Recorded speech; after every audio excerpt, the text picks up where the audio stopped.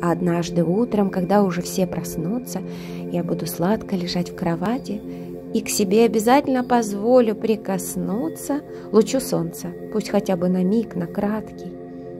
Буду смотреть, как ветер рисует, играя облаками, а я, слушая его шелест, словно художник мазками, буду задавать вектор сегодняшнего дня, придумывая, куда и как переместить какую фигуру. Словно по шахматной доске двигаться и наблюдать, как откликается душа. Сегодня я особенно живая. Слушаю свое дыхание и принимаю все как есть. Кланяю земле, думая о небесном своде.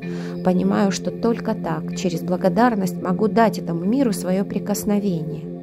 И поэтому бережно, через любовь, сладкий запах духа, осторожно лечу. Ведь я женщина, путь.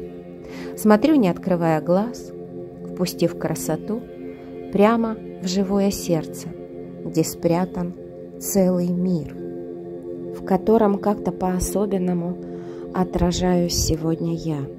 А может быть потому, что я проснулась?